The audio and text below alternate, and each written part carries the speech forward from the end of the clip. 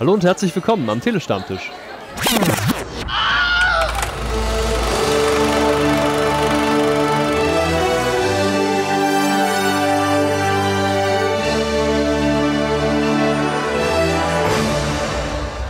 Wir haben heute Furcht in der Fear Street. 1978. Danach haben wir eine Kuh. First Cow. Danach haben wir etwas mit Hunden. Los Reyes. Und nen Knecht. Der Knecht. Den haben wir auch. Ganz zum Schluss sind zwei Schwestern im Feuer. Im Feuer zwei Schwestern. Und der Patrick ist auch dabei im Film Patrick. Und als Rausschmeißer gehen wir noch in ein Grenzland. Das Grenzland. Und letzten Endes solltet ihr uns vielleicht abonnieren oder kommentieren oder uns über Spenden vielleicht finanziell unterstützen. Infos dazu unten in den Show Notes. Und los geht's. Hallo und herzlich willkommen hier beim Tele-Stammtisch. Heute besprechen wir, Nina und Lasse, ähm, wir besprechen heute den neuesten Fear Street Film, Fear Street 1978 heißt das, äh, heißt der Film und der erste Film ist bei euch, äh, Lasse und Patrick hat ja den äh, ersten besprochen, der ist ja nicht so gut bei weggekommen. Ob der zweite besser wird, das werden wir jetzt gleich äh, ja, besprechen. Aber zuerst, worum geht es denn überhaupt äh, im ersten Teil und im zweiten Teil und wie hängen die eigentlich zusammen?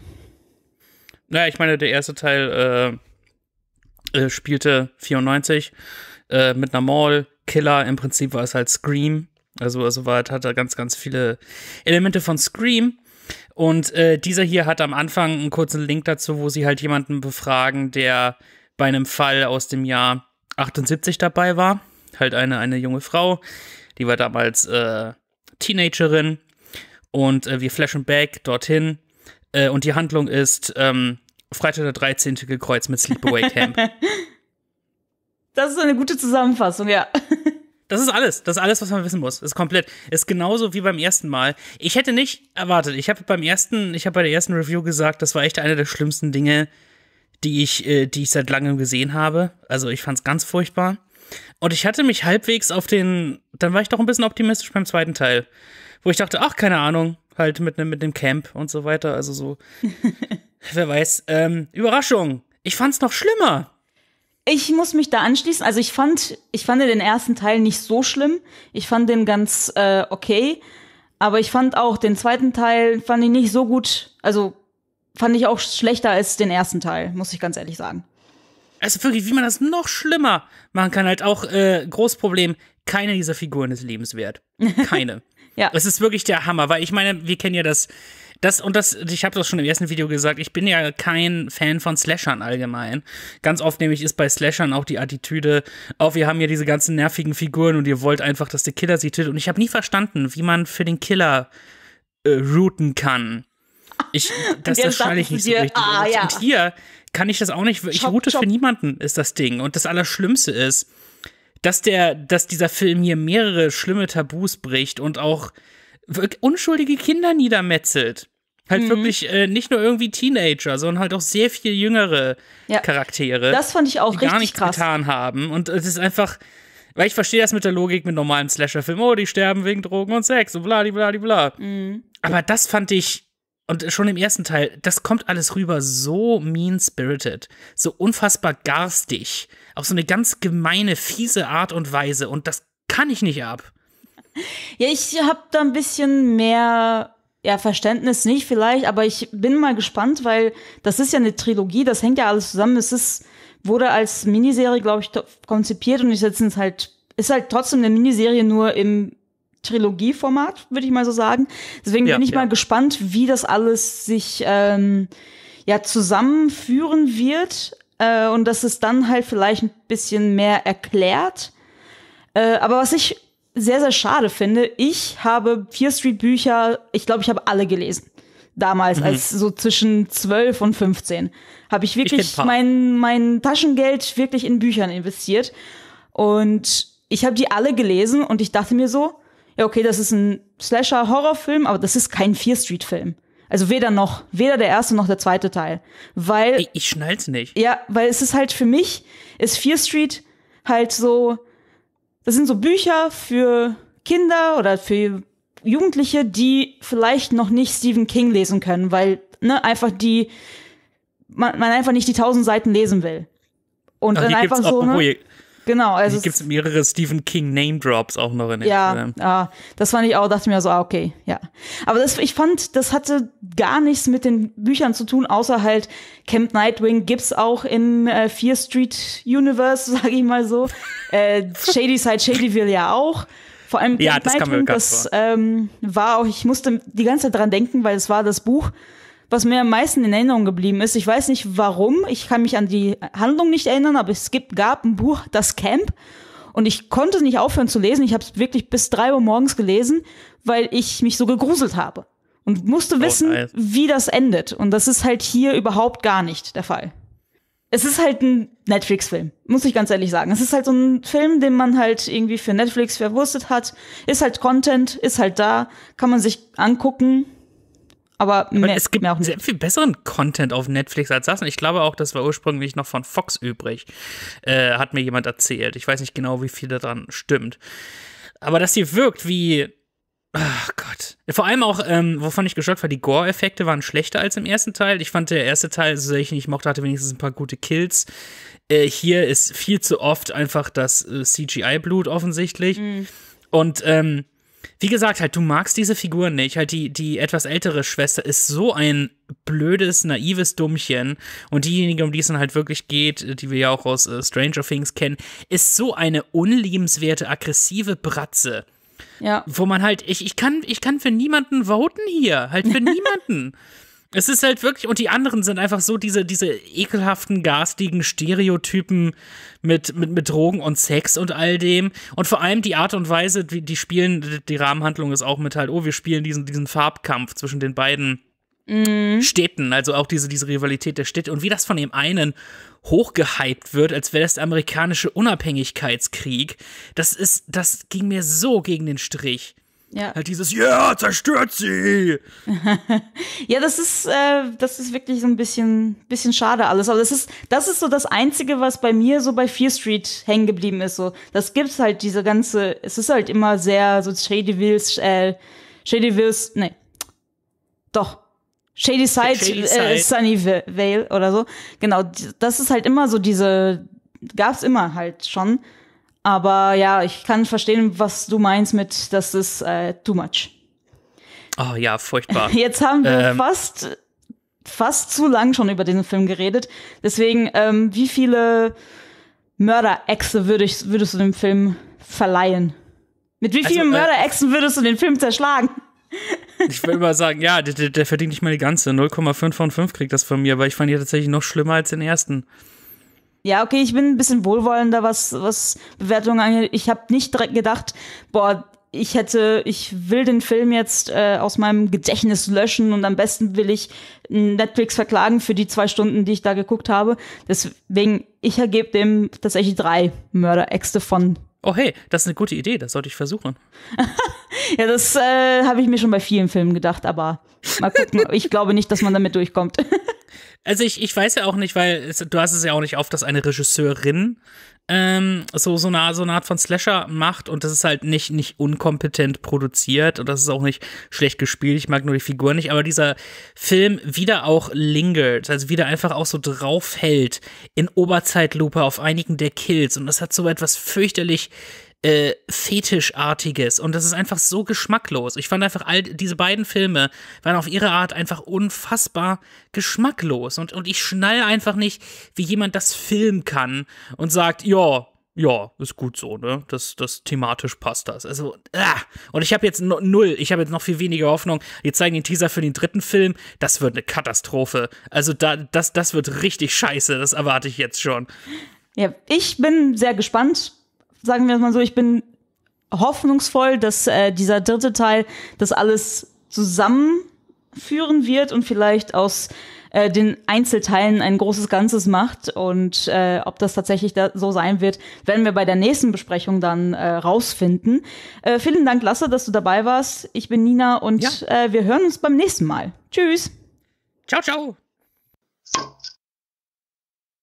Da steht ein Pferd auf dem Flur, ist ein sehr bekannter deutscher Schlager, hat aber mit dieser Besprechung nichts zu tun. Ich würde den Songtext eher umdichten wollen in Da steht eine Kuh auf dem Floß und damit herzlich willkommen zu unserer Besprechung zu First Cow, dem neuen Film von Regisseur Kelly Reichardt, der seit 9. Juli exklusiv bei Mubi zu sehen ist. Ich habe ihn gesehen und äh, es freut mich sehr, dass ich nicht der Einzige bin, der ihn gesehen hat. Der Paul hat ihn auch gesehen. Hallo Paul. Howdy's du. Howdy.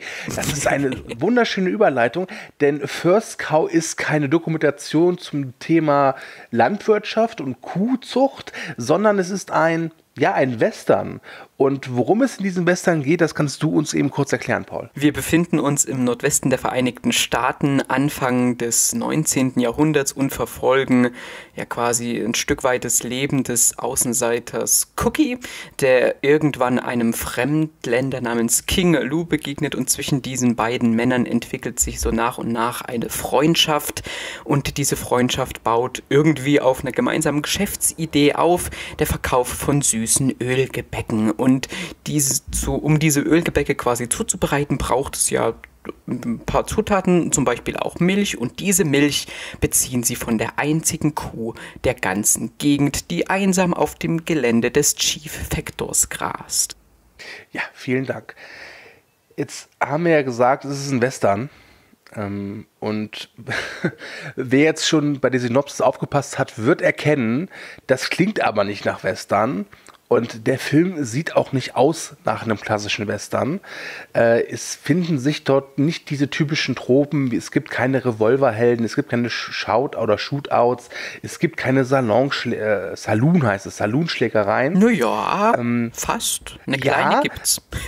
es gibt schon eine und ich finde, das ist eine, eine wunderschöne Szene, weil die sehr deutlich macht, worum es äh, Regisseurin Kelly Reichardt eigentlich geht. Ähm, es, wir sehen, wie Cookie in eine Art Saloon kommt, der auch ganz anders aussieht wie das, was wir uns vorstellen. Das ist im Prinzip nur eine Bretterbude mit ein paar Stühlen. Und da streiten sich dann zwei Herren. Und einer dieser Herren hat ein kleines Baby. Und ähm, er drückt das Baby dann Cookie in die Hand, um nach draußen zu gehen, um sich zu prügeln. Und das Interessante war, für mich zumindest, dass die Kamera der äh, bei Cookie blieb und dem Baby. Und diese Prügelei bekommen wir nun so ganz schemenhaft am Rande mit. Und das ist schon ein sehr eindeutiges Statement, worauf sich dieser Film eigentlich konzentrieren möchte. Nämlich auf das, ich sag mal, auf das Menschliche, aber auch eben auf die Hauptfiguren King Lou und Cookie. Definitiv. Für mich war es so ein Film, der sich aus verschiedenen Aspekten zusammengesetzt hat. Irgendwie auf der einen Seite haben wir schon so mindestens dieses Western-Setting, ja. Und ich finde auch, dass gerade mit diesen Bauten, also das sah alles richtig schön dreckig aus. Und diese Zelte, wenn dann dort waren, die waren schräg und die waren krumm und das sah alles sehr, sehr authentisch aus. Dann hast du so einen, ja, fast schon so ein bisschen humorvollen Buddy-Movie zwischen diesen beiden Männern, zwischen denen sich durchaus eine glaubhafte und auch eine etwas tiefere oder ernsthaftere Freundschaft entwickelt, dann kannst du hier auch eine gesellschaftskritische Parabel draus ziehen, beziehungsweise hast du dann auch noch diesen kleinen, ja, diese kleine historische Backstunde, nenne ich es mal, die mir zumindest schon das ein oder andere Mal so ein bisschen das Verlangen nach auch so einem Gebäckstück entfacht hat, oder? Ah, da muss ich ehrlich sein, also diese, dieses Ölgebäck, das sah für mich immer aus wie Steine, die sie aus dem Bach gefischt haben. Was? Das, hat das, halt sah, mit das sah sehr lecker aus. Ich hätte mich am liebsten in diese Schlange da gestellt. also die ersten äh, ähm, Krapfen, sage ich mal, die sie da verkaufen ja. und die sie dann auf diesem Marktpfeil bieten, das sah für mich aus wie, ähm, wie Steine wirklich. Was? Das, das nimmt natürlich an Qualität zu, aber ich glaube, der Look des Krapfens ist jetzt, glaube ich, hier nicht so ausschlaggebend, aber ähm, ich äh, fand zwei Sachen bei First Cow wirklich großartig. Das eine ist äh, die von dir eben angesprochene Beziehung zwischen Cookie und King Lou, wo ich auch irgendwie das Gefühl hatte, dass die Regisseurin da vielleicht gar nicht so sehr eine, eine Freundschaftsgeschichte erzählt, sondern fast schon eine, eine wirkliche, richtige Beziehung. Hm. Also die werden niemals körperlich, das ist jetzt kein Brokeback Mountain, aber irgendwie schafft sie es, ohne dass die beiden wirklich viel Körperkontakt haben, dass sich da fast schon so eine Art, so ein zärtliches Band zwischen denen entspinnt. Das fand ich sehr faszinierend. Und das andere, wo ich wirklich sage, Chapeau, das hat sie auch ganz großartig hinbekommen, ist die auch von dir eben erwähnte Parabel. Ich hatte das Gefühl, dass First Cow ähm, das Thema Kapitalismus so sensationell gut beleuchtet und darstellt, wie ich es selten zuvor gesehen habe. Sie macht das mit äh, so viel Fingerspitzengefühl oder sie macht das also mit mit natürlich auch in erster Linie genügend Ruhe und aber auch mit einem ganz feinen Sinn eben diese Themen wie zum Beispiel äh, Ausbeutung oder Rassismus oder eben so alles, ja, das alles mit einfließen zu lassen. Und dann haben wir natürlich auch noch einen tollen, wie ich finde, Toby Jones in der Hauptrolle des Chief Factors, der irgendwie auch wieder mal richtig eine schöne, äh, ja, unbequeme Performance abliefern kann und allgemein alle Schauspieler, die hier nebenbei noch äh, drin äh, auftauchen, die sind, die passen einfach wunderbar hier rein. Das ist richtig, richtig toll. Ja, es, es gab eine Szene, da war ich total überrascht schon mir, dass mir die so zu Herzen geht. Ähm, aber man sieht halt, äh, einmal verkaufen sie halt wieder ihre Krapfen auf diesem Markt und sie haben nur noch einen Krapfen übrig und er ist so ein etwas jüngerer Kerl und da drängelt sich halt so ein alter Typ vor. Und dann bekommt der Junge keinen Krapfen mehr. Und wie er dann da steht, und das, ja. das, das hat mein Herz zerrissen. Ich dachte mir, meine Güte, warum? Ja.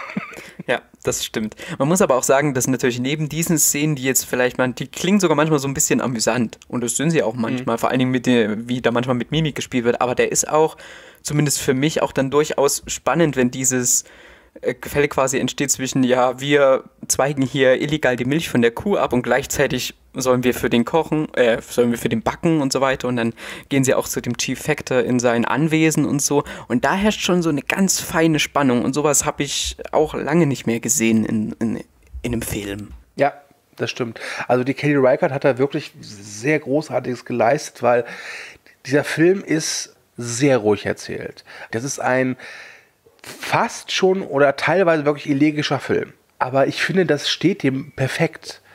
Da entwickelt sich so eine Kraft. und durch diese Ruhe gibt es so Kleinigkeiten, die dann erst richtig auffallen. Zum Beispiel, wenn die Kuh halt in diese, diese Gemeinschaft kommt, also mit diesem Floß da ankommt, wie die Musik das dann so fast schon zelebriert. Da steht halt diese Kuh auf diesem Floß und die Musik, äh, da wirkt das fast schon so, als, wäre, als würde Queen Elizabeth persönlich zum, zum Tee vorbeikommen. Großartig. ja, Gut, dann könnte ich sagen, wir können auch schon zu unserem Fazit kommen, oder? Äh, ja, sehr gerne. Ich würde sagen, wir vergeben natürlich Ölgebäcke. Oh. 0 bis 5. Ja, also mir hat First Cow sehr gut gefallen. Ich hatte mich auch schon im Vorfeld wirklich auf diesen Film gefreut und bin nicht enttäuscht worden. Enttäuscht bin ich höchstens davon geworden, dass er bei den diesjährigen Oscars so komplett leer ausgegangen. Also er war nicht mal im An also er war nicht mal nominiert oder also das ja, keine Ahnung. Hm. Ich mochte die Atmosphäre, ich, mach, ich mochte, dass äh, diese Bögen zum Heute steht, sei es nun eben auf metaphorische Art und Weise oder auch im Prolog schlägt er den auch. Und noch ein ganz kleines Schmankerl für alle Star Trek-Fans. Hier gibt es nämlich den letzten äh, filmischen Auftritt des Odo-Darstellers, besser be also bekannt vielleicht aus Star Trek Deep Space Nine. Ich habe ihn erst nicht erkannt, aber ich habe dann extra nochmal zurückgespult und ihn mir angeschaut. Und das war noch so ein kleiner Wermutstropfen. Und ich bin jetzt fast schon bei einer höheren Wertung, als ich ihm eigentlich vorher geben wollte. Ich schwanke jetzt tatsächlich zwischen 4 und 4,5 von 5, weil ich den wirklich sehr gut fand. Okay. Ähm, ich kann mich da eigentlich nur anschließen, außer das mit dem Star Trek, da kenne ich mich nicht aus. Äh, ich kann dafür sagen, dass äh, Ewan Bremner, bekannt als Spud aus den Transporting-Filmen, auch mitspielt. Das heißt, da konnte ich mich dann kurz freuen, ein bekanntes Gesicht wiederzusehen. Ansonsten möchte ich noch erwähnen, dass der visuell stark ist. Der hat ein sehr grobes Filmkorn, was dem Film aber auch ausgezeichnet steht. Und für mich bislang, ich überlege gerade, ja doch bislang wirklich der beste Film, den ich dieses Jahr gesehen habe. Und ich gebe äh, 4,5 Ölgebäcke. Und damit war es das. Sehr gut. First Cow. Ich glaube, wir können festschalten, guter Film. Ja. Ich finde, diese euphorische Note ist immer ein guter Zeitpunkt, um aufzuhören. Deswegen sage ich Tschüss und Paul, dir gebührt das letzte Wort. Wer noch bei Mubi dranbleiben will, der kann nämlich im Anschluss des Films sogar noch ein Interview mit der Regisseurin ähm, mitnehmen. Das gibt es bei Mubi exklusiv noch mit hinten dran. Und damit sage ich auch Tschüss und bis zum nächsten Mal.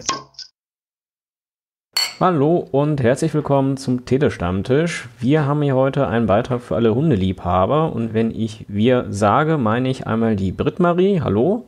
Hallo. Und ich bin der Nick und wir haben uns angesehen Los Reyes, ein Dokumentarfilm, deutsch-chilenische Co-Produktion.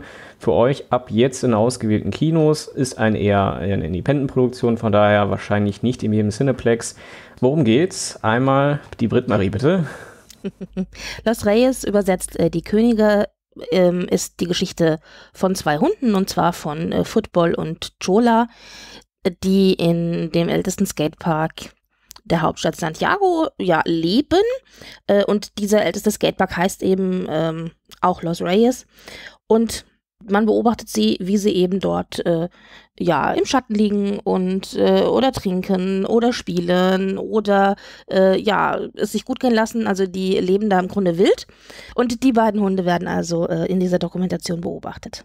Ja, im Hintergrund eher und nicht zu sehen sind äh, Jugendliche, die diesen Park halt auch nutzen.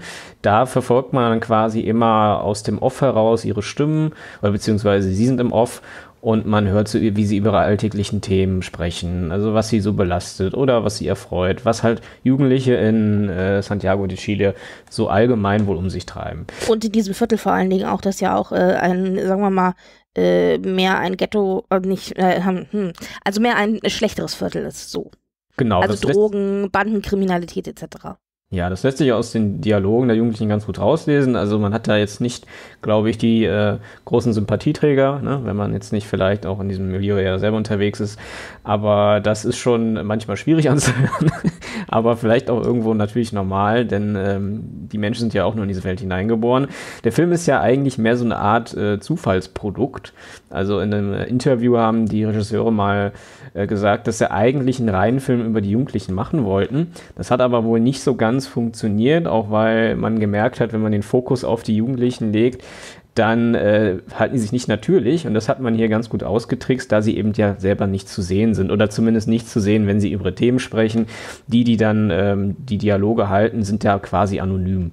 Ja, also das war wohl ein schöner Nebeneffekt, aber ich meine, der Film ähm, erzählt, vielleicht kann man grob überspannt sagen, erzählt vielleicht die Geschichte von Außenseitern, vielleicht kann man es dann so zusammenfassen, denn es geht schon um die Hunde im Mittelpunkt. Also die Jugendlichen, die ihre Gespräche da führen und die man quasi im Off hört, gehören dann mit zu diesem Kosmos der Hunde dazu. Und äh, das wird sozusagen äh, als Filmemacher, als Publikum wird es noch mitgenommen. Aber es geht eigentlich nicht um die Jugendlichen, finde ich. Nee, nee, das war auch eher, das, was ich sagen wollte, ist, das war der ursprüngliche Gedanke. Also ursprünglich hatten die Regisseure nicht vor, die Hunde zu filmen. Das ist ähm, passiert, als man dann gemerkt hat, dass es das eigentliche Konzept nicht ganz aufgeht. Daran ist die Doku auch schon fast gescheitert.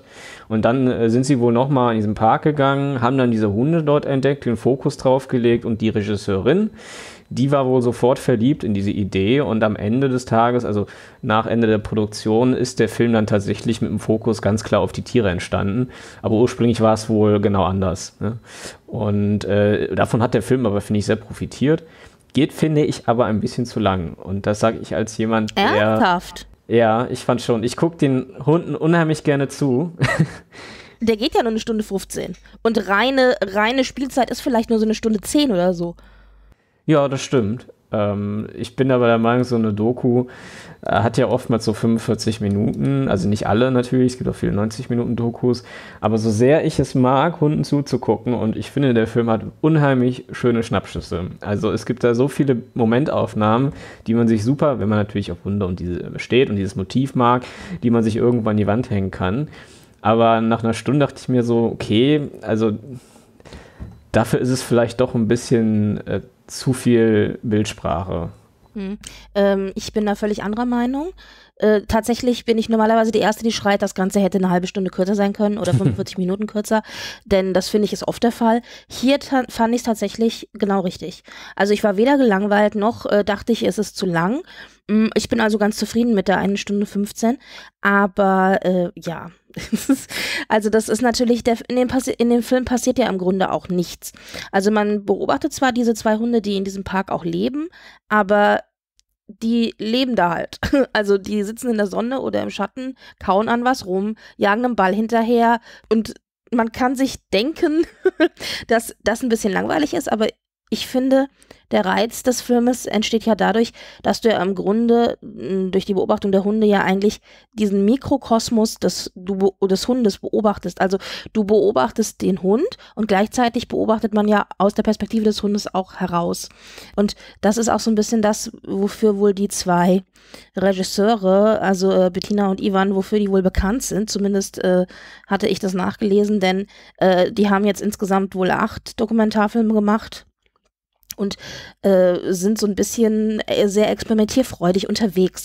Und das ist wohl in diesem Film auch so, dass sie also versuchen, erstmal nur über Bilder zu sprechen. Das heißt, wir haben hier keine Stimme, die aus dem Off irgendwie irgendwas erzählt oder so oder eine Erklärung drüber legt, sondern wir haben wirklich nur die Bilder und eigentlich auch nur die normale Tonkulisse des Parks. Also wir haben auch keine extra Musik oder so, die besonders Gefühle transportiert.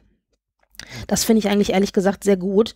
Und ähm, was sie aber auch machen ist, sie fangen Bildkompositionen ein, die das Ganze ähm, entweder ganz weit äh, und aufmachen, also quasi die, indem man den ganzen Park äh, sieht und, und oder aber kleine Bilder, in denen sie wirklich ganz nah ranzoomen und irgendwie nur die, die Tatze äh, ranzoomen oder die Fliege auf der Nase oder so. Also das sind schon unterschiedliche Perspektiven, die man da kriegt. Und ich finde, das macht es eigentlich spannender und eben gerade nicht langweilig. Also ich würde den Film auch nicht als langweilig bezeichnen. Ich bin halt nur der Meinung, dass ähm, ich hatte mich dann so nach 45 Minuten schon so ein bisschen satt gesehen finde aber grundsätzlich, also grundsätzlich stimme ich dir zu bei den Argumenten, die du für den Film vorbringst. Aber wie gesagt, dieses Argument mit der Länge oder beziehungsweise dieser Aspekt der Filmlänge äh, bleibt für mich trotzdem bestehen. Also ich äh, finde zum Beispiel auch, was du, äh, finde ich, sehr treffend gesagt hast, ist, wie hier mit Bildern und Bildkompositionen gearbeitet wird, dass man nämlich aus diesem ganz kleinen Fleck, äh, der eigentlich in einer 5 Millionen Stadt schon fast ja unbedeutend ist, vielleicht nicht für die Jugendlichen vor Ort, aber so, wenn man das Ganze in Relation sieht und trotzdem in dieser Doku wie eine ganze Welt aufgebaut wird. Und das ist ja auch die Welt dieser Hunde. Und ähm, ich finde auch, dass das rein als Regiearbeit unheimlich stark ist. Und ich glaube, wer auch Hunden sonst stundenlang pausenlos zugucken kann, bekommt hier mal noch eine Art und Weise, auch sehr bildlich, visuell stark dargestellt, die man so, glaube ich, sehr selten zu sehen bekommt. Und am Ende fühlt man sich irgendwie auch so, ich weiß jetzt nicht verbunden, ob das das richtige Wort dafür ist. Was es ganz gut getroffen hat, ist, ich glaube, ich habe das gleiche Interview gelesen, das du auch gelesen hast. Äh, da kam ein Satz vor, wo ich dachte, der trifft es sehr schön. Da stand nämlich, aus Beobachtung wird Anteilnahme. Mhm. Ja, äh, das bedeutet äh, für die Gesamtpunktvergabe am Ende, was würdest du sagen? Also ich würde schon sagen, äh, so vier von fünf zerkauten Fußbällen. ja, ich würde dem Ganzen auch vier Punkte geben. Mit starker Tendenz zu fünf, aber ähm, vier Stück auf jeden Fall. Ja, dann äh, habt ihr jetzt unsere zwei Meinungen, macht euch gerne selbst ein Bild. Äh, Britt-Marie, vielen Dank auch für deinen Anteil und dann entlasse ich euch mal und äh, hoffe, ihr habt auch ganz viel Spaß mit dem Film. Tschüss. Hallo und herzlich willkommen beim Telestammtisch. Ich bin der Sven und heute gibt es Frischfleisch. Der oh, Telestammtisch ja. begrüßt ein neues Mitglied, Andreas 3.0. Dieser hat sich als kleine Feuertaufe der Knecht einmal Mittelalter und zurück angesehen. Das ist ein russischer Film aus dem Jahre 2019, eine FSK ab 12. Die Laufzeit beträgt 100 Minuten. Als Schauspieler hätten wir oh je, Milos Bikovic, Alexandra Bortic, Alexandrs Samolenko und Regie führte Klim Schipenko. Ich hoffe, ich habe es richtig ausgesprochen. Wenn nicht, dürft ihr mich gerne rügen. Aber bevor wir zum Inhalt kommen, möchte sich der Andreas 3.0 ein bisschen vorstellen. Schieß los. Ha. Jawohl, hier ist noch ein Andreas. Ähm, eigentlich Comic-Fan. Der eine oder andere kennt mich vielleicht von Pau, ein Comic-Podcast. Ähm, und hier in diesem Podcast habe ich jetzt die Möglichkeit, mich einer weiteren Leidenschaft zu widmen, und zwar Filmen und darüber zu reden. Und das freut mich total. Und ich bin gespannt, was hier so auf mich zukommt. Wunderbar. Sehr schön. Ja, dann erzähl uns doch mal etwas zu Der Knecht. Um was geht's denn? Es geht um äh, Gregori. Der ist Oligarchensohn von Beruf und äh, verbringt quasi seine Freizeit in Nachtclubs und mit schnellen Autos und wirft mit dem Geld seines Vaters um sich. Ähm, sehr respektlos ist er dabei anderen Menschen gegenüber, ähm, sieht Frauen nur als Objekte an und eines Nachts wird er dann von äh, der Polizei angehalten, weil er mal wieder zu schnell durch Moskau düst und er muss feststellen, dass der Polizist gar nicht bestechlich ist, was ihn vor eine ganz neue Situation stellt. Daraufhin wird er mit zum Polizeirevier genommen und sein Vater muss ihn da halt rausholen. Der Vater, äh, lernen wir dann, hat genug von der ganzen Situation, ähm, da er das wohl schon öfter machen musste und beschließt eine, ich sag mal, Verbesserung herbeizuführen bei dem Sohn. Ähm, und zwar mit einem sehr perfiden Plan. Er holt sich Hilfe und die bauen ein Mittelalterdorf auf ähm, und verfrachten den Sohn dahin. Und er wacht auf und glaubt, er ist im Mittelalter und ist jetzt ein Stalljunge dort ähm, und muss knechten und für alles, was er haben will, wirklich viel arbeiten. Im Hintergrund sitzt der Vater mit einigen Freunden und die beobachten alles mit Drohnen und Kameras und lenken dieses Theaterspiel so ein bisschen so, auf dass der Sohn sich bessert äh, und zu einem besseren Mensch wird. Das ist so der Kern der Geschichte. Okay, die Idee kommt mir bekannt vor. also ich habe nur den Trailer gesehen und da kam mir als allererstes tatsächlich der Gedanke einer russischen Variante von der Truman Show ins Gedächtnis. Ist es so in der Art Truman Show, ach eher Dramedy oder ist es eher Comedy oder ist es was ganz anderes? Es, es möchte mehr Comedy sein. Ähm, es ist auch ganz klar auf diesen Fokus angelegt. Ob es gelingt oder nicht, muss ja jeder für sich entscheiden. Humor ist recht individuell. Ähm, es lebt halt sehr davon, diesen, diesen reichen Schnösel immer wieder in den Matsch fallen zu lassen. Ähm, ansonsten klar, also diese Idee, dass äh, wir haben ein Leben, wir filmen das, ist sehr aus der Truman Show. Obwohl bei der Truman Show ja das ähm, das Ergebnis ist, man möchte das nur beobachten. Und in diesem Film ist es, man hat so ein Endergebnis. Man möchte einen besseren Menschen aus ihm machen und hat sich einen zeitlichen Rahmen dafür gesteckt. Aber ansonsten klar, die Idee ist ganz klar da entlehnt, ja. Okay, wie ist es so vom, vom Setting her, von der Kamera her? Ist es gut ja. gemacht oder geht es eher so in C-Kategorie? Da, nee, das ist so die, ähm, das Positivste, was mir aufgefallen ist. Das Kulissenbild ist sehr schön. Äh, das hat richtig gut funktioniert. Gerade die Lichtsetzung ist sehr schön. Man kennt das vielleicht sonst aus günstigeren Produktionen, ähm, dass man das Gefühl hat, die ganzen Schauspieler stehen gerade unter einem Scheinwerferlicht, äh, weil alles so hell ist und drumherum ist natürliches Licht, nur nicht da, wo die Schauspieler stehen. Das hat sehr gut funktioniert. Und gerade die Kameraarbeit ist mir positiv aufgefallen weil viele, äh, also wenig Schnitte vorhanden sind und viele durchgehende Kamerafahrten sind, was ich persönlich sehr gerne mag. Gerade am Anfang gibt es so eine Sequenz, wo die eine Treppe runterlaufen und unten ein Gespräch führen und das ist eine durchgehende ähm, Sequenz, die nicht geschnitten ist und wo der Kameramann gut draufhält. Das hat mir sehr gut gefallen. Also handwerklich, was das filmische Handwerk geht, ist das nicht bemerkenswert gigantisch, aber es ist gut gemacht. Das hat mir viel Spaß gemacht, ja. Okay. Ähm, also ich mir das. ja? Ja, nee, sprich.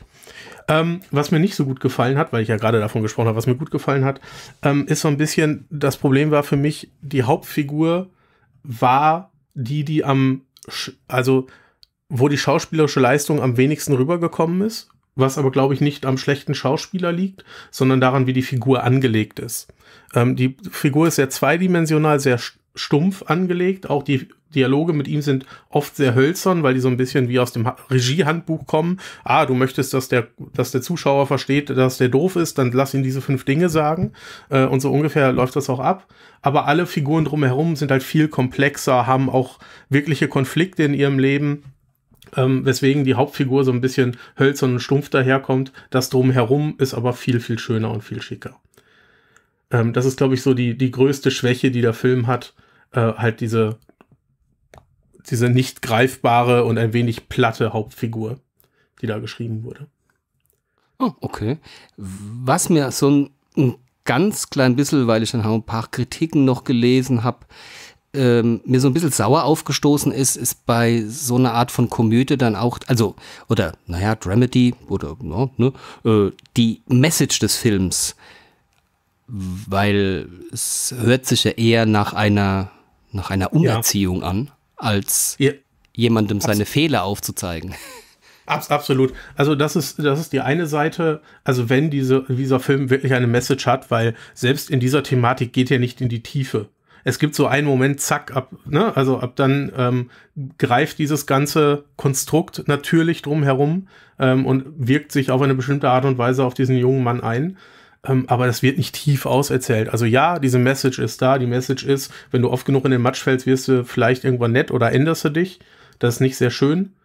Ähm, aber das wird auch nicht sehr tief ausgeschürft. Also das soll die Grundthematik des Films sein. Aber eigentlich sind das ähm, fast zwei Stunden einfach nur Unterhaltungskino, der überhaupt nicht in die Tiefe gehen will, der dir auch, glaube ich, gar keine Message so wirklich mitgeben möchte. Also reine Unterhaltung, ja, wie du schon gesagt ja, hast. Genau, reine, ja. unter, reine Unterhaltung. Ähm, und, ich, und ich glaube, dass als, de, als das muss man diesen Film auch begreifen. Man darf da nicht zu viel erwarten. Ähm, das war die erste russische Produktion, die ich bewusst auf jeden Fall geguckt habe ähm, und war aufgrund der handwerklichen Fähigkeiten auf jeden Fall positiv überrascht. Ja, ich glaube, wenn man sich den Trailer anguckt, hat man ein sehr gutes Bild, was man da bekommt. Und wenn dann das anspricht, kann man sich den Film auf jeden Fall ganz gut angucken. Wunderbar.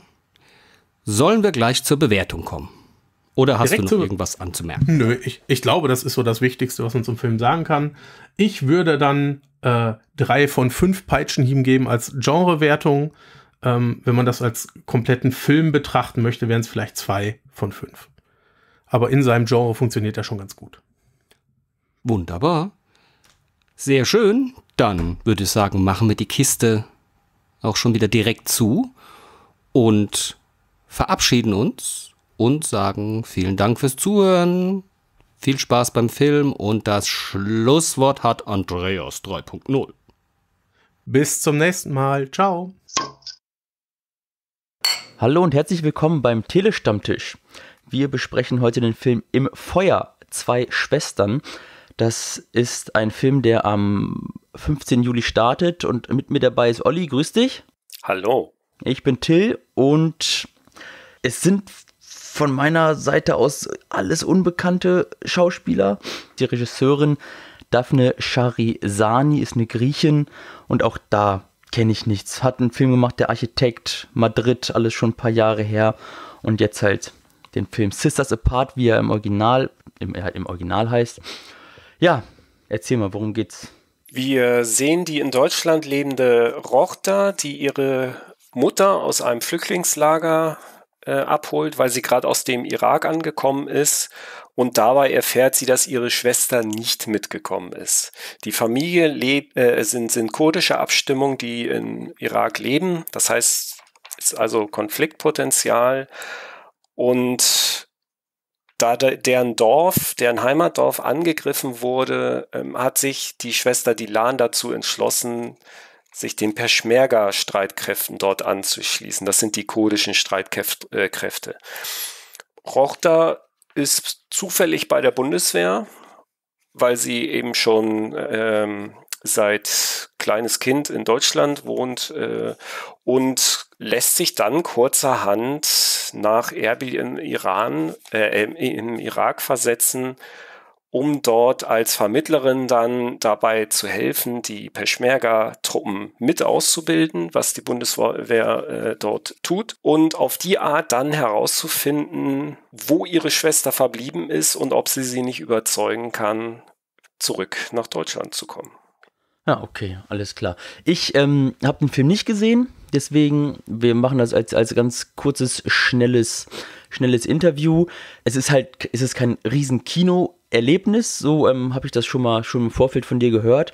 Es ist ein deutscher Film, ne? Da habe ich recht. Das hatte ich ja, richtig. Genau. Genau. Ist es denn, es tut mir immer so ein bisschen leid für den deutschen Film, weil da gibt es tolle Filme. Ist es denn so einer, wo man sagt, okay, das ist typisch deutsch? Merkt man dem das an? So, gerade die Dialoge sind ja oft leider immer noch so ein bisschen schwierig, hölzern und wirken eher so ein bisschen konstruiert und vorgelesen. Wenn du weißt, was ich meine. Ja, also du meinst auch dieses äh, voll ausartikulierte Bühnendeutsch. Ja, das genau. haben wir hier so in Ja. dieser Form nicht ganz. Es tritt immer wieder auf, weil äh, Christoph Letkowski ist halt, also g- kennt man so ein bisschen in vielen Nebenrollen oder so, also ich zumindest. Mhm. Und ja, da schwingt es natürlich mit, aber es ist nicht ganz so äh, wie in, in anderen deutschen Filmen. Also es ist schon erträglich. Ich schätze, es liegt eben daran, dass wir auch viele an, mit, mit anderen Hintergründen haben, also andere Ethnien und so, Ja. dass es dadurch halt generell ein bisschen anders aufbricht, ja. Das ist doch, das klingt ja schon mal ganz, ganz gut, weil das ist halt was, was leider so immer so ein bisschen stört. Im Trailer, den habe ich mir im Vorfeld natürlich angeguckt, da sieht man aber, dass wenn die in ihrer, wenn sie nicht Deutsch sprechen, ist das Ganze untertitelt im, im O-Ton quasi. Genau. Macht, das hilft wahrscheinlich, dass es ein bisschen authentischer ist, ein bisschen, ein bisschen auflockert. Ja, klar. Also äh, es ist, es ist schwer anders darzustellen, aber ähm, es ist natürlich, es wird, äh, wird quasi jeweils dann so eingeführt. Nachher auch im, im Irak, wenn, wenn wir mit den ähm, Peschmergas zu tun haben, das ist eine reine Frauentruppe in diesem Fall, die da mit ausgebildet wird. Die sprechen anfangs natürlich mit diesem Untertitel in ihren Original, in ihrer Originalsprache, aber das bricht nachher so ein bisschen auf, was ja dann auch einfacher zu konsumieren ist. Also das ist jetzt nicht so, dass man die ganze Zeit äh, Untertitel lesen muss. Und selbst wenn, sind das relativ einfache Sätze, weil hier ja kein Ja. Riesenplot oder äh, kein rieses Worldbuilding betrieben werden muss. Insofern, ja, es hält sich in Grenzen, ja. Okay.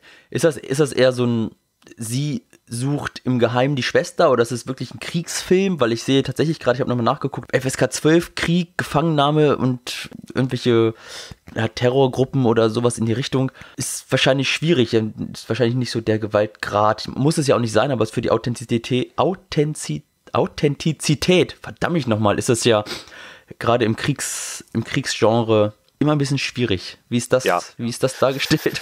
Es hält sich in Grenzen. Es hat seine Spitzen, ganz klar. Es gibt eine Auseinandersetzung, so gerade zum, in, der, in der zweiten Hälfte dann, äh, die dann quasi auch fast sowas wie ja, ein Kriegs, eine, eine Kriegsszene darstellen soll. Es werden aber im Vorfeld halt eher die Folgen des Krieges in diesem Land, also in, in, in der Landschaft dort und so gezeigt. Ich schätze mal eher, dass es darauf mit abzielt. Ich sehe sie als gerechtfertigt an, ab 12, aber trotzdem muss man sagen, hier wird wirklich, also es ist sehr, sehr low, was hier äh, auch abläuft, sowohl schauspielerisch als auch darstellerisch. Also man hat manchmal das Gefühl, dass der Irak irgendwo bei einer Kiesgrube realisiert wurde oder so. Also wirklich sehr, sehr low. Ich weiß halt nicht, wie, wie weit sie irgendwie im Ausland waren für Filmarbeiten.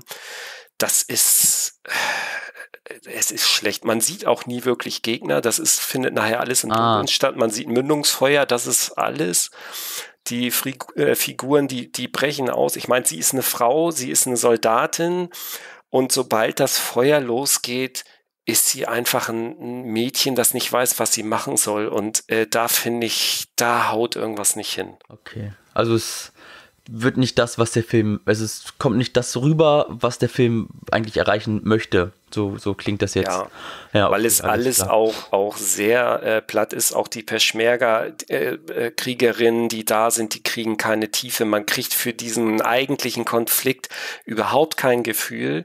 Es es hätte nicht mal kurdisch-irakisch dran stehen müssen, es hätte irgendwas sein können. Diese Beliebigkeit, die, die, also das kann ich nicht verstehen. Warum? Weil es ist eigentlich, es ist, es wäre was Wichtiges, jetzt nicht nur die Geschlechterrollen äh, aufzubrechen, sondern auch diesen Konflikt irgendwie den Leuten nahezubringen, dass man weiß, was heißt das überhaupt, kurdisch und, und so. Aber die Chance ist nicht passiert. Die Bundeswehr wird zweidimensional dargestellt. Äh, Befehlsverweigerungen sind völlig egal und äh, Ausbildung wird beim ersten Mündungsfeuer schon vergessen und so. Für mich muss ich sagen, haut das hinten und vorne nicht hin und leider versagt. Okay, dann muss ich auch nicht mehr nach dem Fazit fragen, denn das war eins. Mhm, ja. Dann, dann, kannst du, dann kannst du noch ein paar Sternchen vergeben und dann haben wir es auch schon. Also mit viel guten Willen bin ich bei zwei von fünf Punkten. Na, aber okay. es geht Mhm. eher in die gegenläufige Tendenz. Also vielleicht sogar 1,5. Tut mir Ah, leid. okay. Alles klar. Für den Film langt's. Dann danke ich dir Gerne. und dann, dann machen wir hier Feierabend. Schönen Abend, schönen Tag, wie auch immer. Bis zum nächsten Mal. Danke fürs Zuhören. Mach's gut. Ja. Ciao. Ciao. Cheers, liebe Leute, und willkommen bei einer neuen Folge des Telestammtisch. Ich bin Lida und bespreche für euch das portugiesische Drama Patrick, das am 15. Juli in den Kinos anläuft. Co-Drehbuchautor und Regisseur Gonzalo Waddington ist sonst als Schauspieler eher vor der Kamera aktiv und das merkt man seinem Regiedebüt auch deutlich an. Nicht nur daran, dass Patrick ein typisches Schauspielerdrama ist, das Darstellerinnen und Darstellern viel mehr Raum einbaut als der Atmosphäre oder der Entwicklung einer Handlung, sondern auch an den zahlreichen Logiklücken im Plot. Der strotzt nur so vor Widersprüchen und Absurditäten, dass es schon fast unfreiwillig komisch wäre, wenn der Film nicht so ein harsches Grundthema hätte. Es geht um Kindesmissbrauch. Patrick ist in diesem Kontext sowohl Täter als auch Komplize und Opfer. Wir lernen ihn kennen als junger Mann, der in Paris auf Kosten eines älteren Liebhabers ein exzessives Leben führt. Partys, Sex und Drogen bestimmen seinen ziellosen Alltag. Bei einer Polizeirazzia kommt allerdings zutage, dass Patrick eigentlich Mario heißt und als Kind entführt wurde. Jetzt steht er selber quasi mit einem Fuß im Gefängnis. Und was macht die Polizei? Ermitteln, vielleicht Patricks Entführer suchen oder dergleichen. Nein, die Polizei schickt ihn zurück zu seiner Mutter nach Portugal, wo er eine Art Kurzurlaub verbringen kann. Patrick würde aber viel lieber zurückkehren zu seinem Entführer, zu dem er eine Art Abhängigkeitsverhältnis entwickelt hat. Seine Mutter unterdessen kommt überhaupt nicht zurecht mit diesem völlig fremden jungen Mann, der nichts mehr von dem kleinen Jungen, den sie damals verloren hat, an sich zu haben scheint.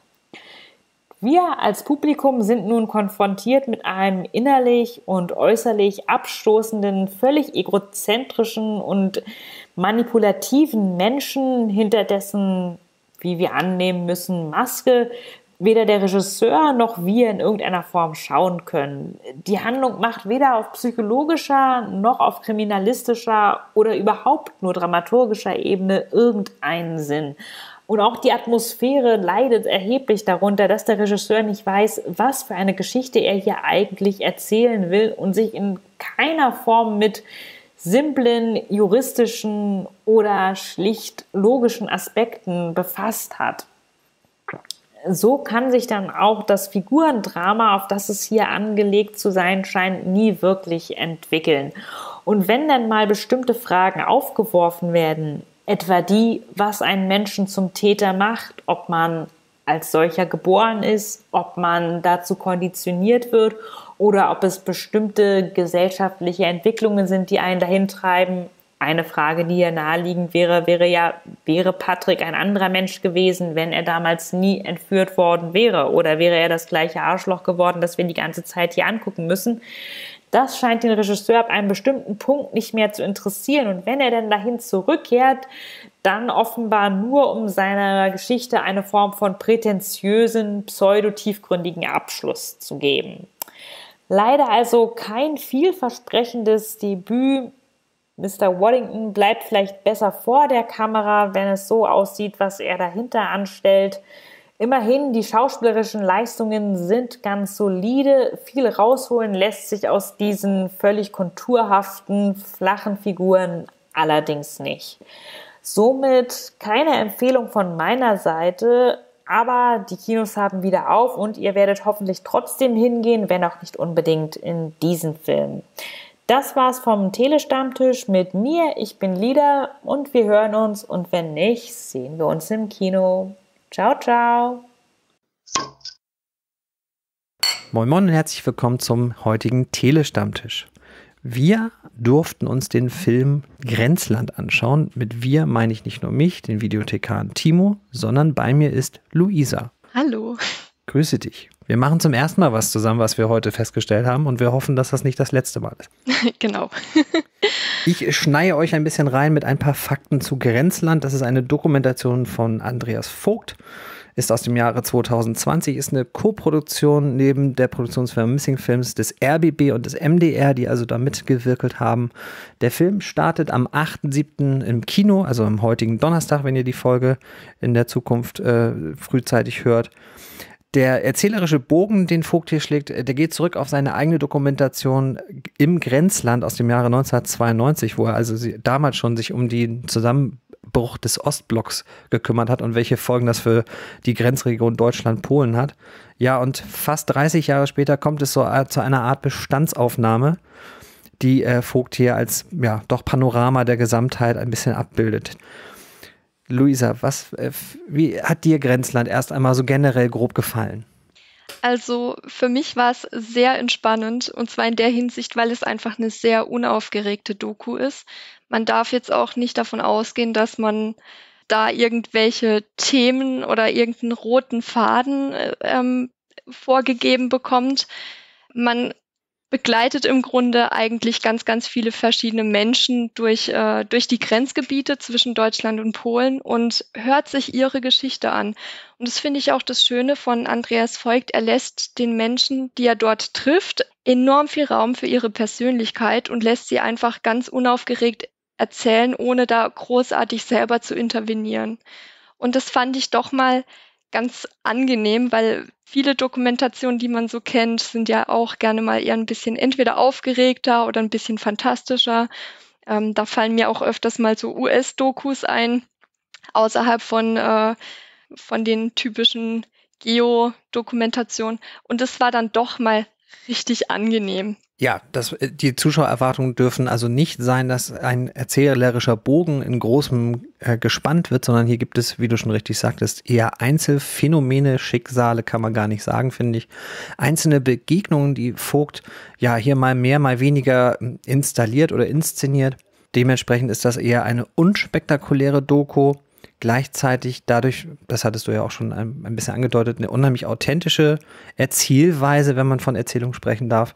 Und dementsprechend haben wir es hier mit einer, wie ich finde, noch reinrassigen Dokumentation zu tun, wie es immer seltener wird. Wir haben ja manchmal die großen Sportdokus, wo es so einen großen Bogen gibt, wo also im Nachhinein eine runde Erzählung draus gemacht wird.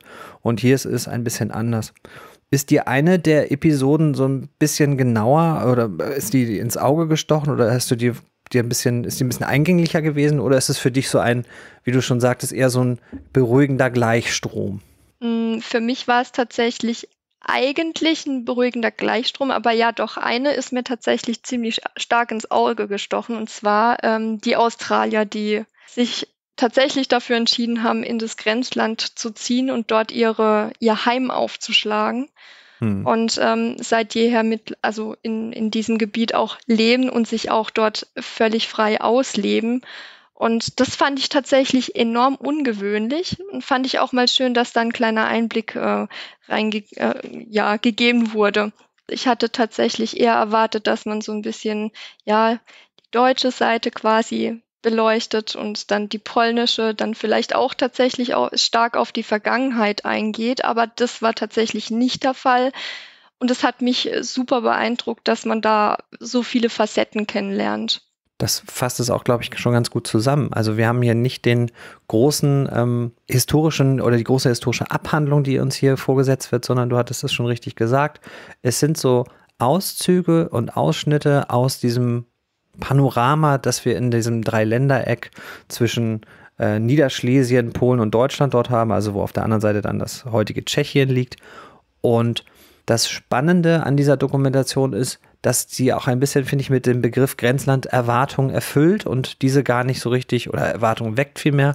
Und diese geweckten Erwartungen, wie du schon sagtest, die werden so ein bisschen ja auf die Spitze getrieben und man denkt so, es passiert was ganz Spektakuläres und jetzt kommt die große historische Abrechnung auch von vielen Beteiligten und sie bleibt in der Tat komplett aus.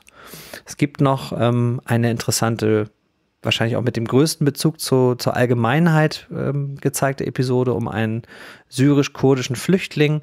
Da merkt man dann ganz schnell, dass so die ähm, Toleranz und die Integrationsmöglichkeiten gerade auf der Seite der Deutschen in dieser Oder-Neiße-Region sich den Gegebenheiten anpassen, sagen wir es mal so. Dadurch, dass dieser junge Mann da nur alleine ist, sind die Mitarbeiter oder die Kollegen von ihm doch durchaus, sagen wir mal, integrationsfähig toleranter und sagen, ja, das haben wir ja schon hinbekommen, aber man spürt so ein bisschen unterschwellig, naja, also so richtig glücklich mit der Situation waren äh, die sicherlich nicht. Das ist zumindest mein Eindruck gewesen. Wir sind äh, aufgrund unserer momentan äh, anberaumten Zeit schon auch ein bisschen in unserer Fazitregion. Gleichzeitig kann ich mir vorstellen, Luisa, dass so eine Bewertung einer so, ja, doch speziellen Doku vielleicht schwerfällt. Vielleicht verzichten wir, wenn du natürlich eine Bewertung in unserem berühmten äh, Skala von 1 bis 5 hast, dann nehme ich die gerne, aber ansonsten darfst du auch gerne einfach nur ein Fazit verbalisieren. Also mir hat es tatsächlich sehr gut gefallen, weil ich wirklich den Eindruck hatte, ich werde ein bisschen an die Hand genommen und durch ne, ein Gebiet gezogen und lerne auf der, auf der kleinen Reise mehrere Personen kennen, so wie man es zum Beispiel kennt, wenn man Backpack als Backpacking-Tourist quasi unterwegs ist. Und das fand ich super schön. Es hatte was von einem kleinen, sanften Fluss, der vor sich hin plätschert. Und für einen ruhigen Abend, äh, an dem man sich gern mal ein bisschen berieseln lassen möchte, der nicht zu aufgeregt ist, ist es auf jeden Fall eine schöne, wunderschöne Doku und bietet auch ein paar schöne kleine Anekdoten, an die man ja, bei denen man doch hier und da auch mal gerne ein bisschen schmunzeln kann. Das sehe ich genauso. Ich finde es vor allen Dingen mutig, daraus keinen fiktionalen Stoff zu machen, wie es äh, Chloe Zhao mit Nomadland zumindest ansatzweise getan hat. Da habe ich durchaus eine Parallele gesehen. Auch ein Film, der sehr gleichströmig, der sehr, sehr ruhig daherkommt, der sehr, sehr unspektakulär ist. Und das Ähnliche kann man bei Grenzland erwarten. Also wer sich zum Beispiel so ein Double Feature jetzt im Kino gehen möchte, kann sich ja gerne zuerst unsere authentische Dokumentation Grenzland gönnen und im Anschluss den Oscar-Gewinner dieses Jahres gönnen. Und ja, ich verzichte auch auf eine Punktebewertung, ähm, weil ich das ganz, ganz schwierig finde bei einer Dokumentation, gebe aber dennoch, gerade auch aufgrund der kommenden Mainstream-Blockbuster-Überflut, äh, eine klare Cook-Empfehlung, sowas vielleicht auch mal auf der großen Leinwand zu schauen, denn die landschaftlichen Panoramen sind hier ganz klar auch was für die große Leinwand. Luisa, dann danke ich dir für diesen kurzen äh, Appetizer für unseren Film Grenzland. Danke auch. Vielen Dank auch an euch ZuhörerInnen und bis zum nächsten Mal hier beim Chile Stammtisch. Bis zum nächsten Mal und zum auf Wiederhören. Sehr geehrte Damen und Herren, wertes Publikum, liebe Hörende, vielen Dank für eure Aufmerksamkeit und Zeit. Ich hoffe sehr, euch hat gefallen, was ihr gerade gehört habt. Wir, die Redaktion des Telestammtisch, betreiben ein semi-professionelles Podcast-Projekt zum Selbstmitmachen. Also meldet euch bei uns, wir beißen auf. Außerdem freuen wir uns immer über Feedback via Social Media und E-Mail sowie euren finanziellen Support. Ebenso frohlocken wir förmlich über Bewertungen auf den gängigen Podcast-Plattformen. Wer möchte, darf uns gern immer und überall empfehlen. Alle relevanten Links findet ihr in den Show Notes. Vielen Dank und bis zum nächsten Mal. Euer Andi.